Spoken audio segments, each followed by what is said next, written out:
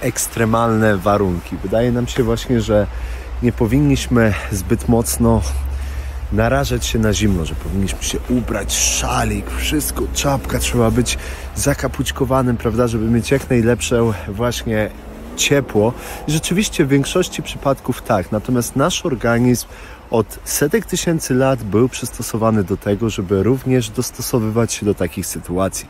Więc jeżeli my minimalizujemy na przykład ekspozycję na zimno, to momentalnie nasz, to po prostu ciągle będzie nam zimno. I żeby tego uniknąć, sugeruję bardzo mocno ekspozycję na zimno.